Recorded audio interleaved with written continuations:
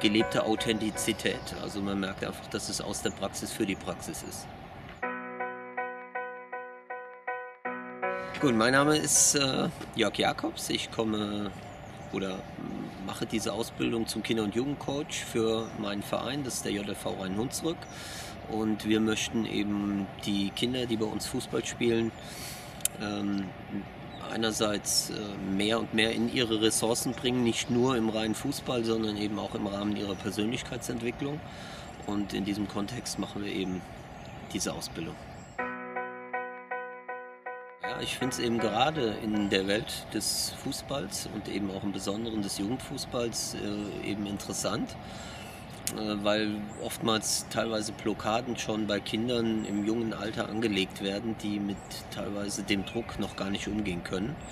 Und in diesem Kontext sind es hervorragende Methoden und äh, ja, es ist ein ganzer Methodenkoffer, der den Coaches weiterhelfen könnte, wenn sie das Wissen hätten, äh, um eben wirklich die Kinder mehr und mehr auch in ihre Ressourcen zu bringen. Also von daher finde ich es eine ganz tolle ähm, Geschichte. Ja gut, das kann ich eigentlich ja sehr gut nachvollziehen, weil wir im Prinzip ja auch im Fußballtraining ganz viel äh, nicht nur erzählen und Theorie am, am Tisch machen und Taktikbesprechung, sondern wir trainieren eben auf dem Platz. Also ich muss es tun, um es können zu können. Und ich muss es mir auch erlauben oder eben auch den Kindern erlauben, mal Fehler machen zu dürfen, ihr Erfahrungsfeld, Fußballfeld nutzen zu dürfen. Insofern ist das eine ganz tolle Analogie zu dem Setting, wie wir es hier haben wo ich eben auch äh, nicht nur eine Theorie höre, sondern es eben auch ganz, ganz viel selber üben und ausprobieren darf, um danach dann eben in der Praxis, wenn ich es ähm, auch wirklich an das Kind bringen darf, äh, gut, gut umsetzen kann. Ja klar, also wir haben ganz konkrete Vorstellungen, dass wir äh, mit diesen Methoden arbeiten möchten, um einfach die Kinder noch mehr in ihre Ressourcen, in ihre Ziele, in ihre Wünsche. Und das müssen eben auch nicht nur Dinge sein, die mit dem Fußball zu tun haben. Das soll eben auch helfen, ähm, Ziele in der Schule erreichen zu können, andere Ziele, um vielleicht mehr Zeit für das Fußballspiel dann äh, haben zu können. Ja. Wir äh, würden das auch gern noch mehr fokussieren in Richtung, wie können wir das in diesem Kontext Fußball einsetzen und äh, freuen uns, dass wir da eben auch jetzt gemeinsam Lösungen erarbeiten, die noch spezifischer eben auch für, für diesen Bereich ähm, wirken und, und umgesetzt werden können.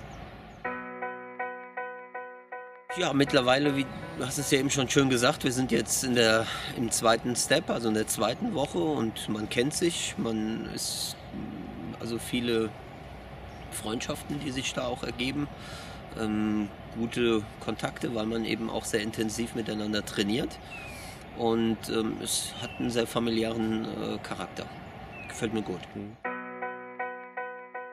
Ja, Daniel ist ähm, sehr authentisch, macht das, also man, man, merkt, dass das eben auch nicht nur eben die Theorie ist, sondern dass er auch durch die Übungen, die er selber dort vormacht, das ist alles ähm,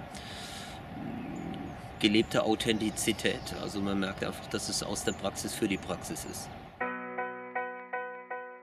Ja, auf jeden Fall. Auch nicht nur in dem Kontext, wo ich, wir das einsetzen möchten, also im rein im, im Sport oder im Fußball, sondern ist es ein Feld, wo wir einfach sagen können, das ist äh, in jeglicher Hinsicht ähm, förderlich für die Kinder. Ja, weil es einfach die Kinder in ihre Ressourcen bringt, in das hineinbringt, ähm, wo sie hin möchten.